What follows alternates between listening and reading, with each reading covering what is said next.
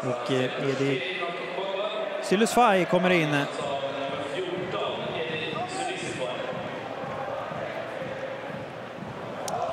Sylusfaj som får eh, känna på det allsvenska spelet här. Han är född 98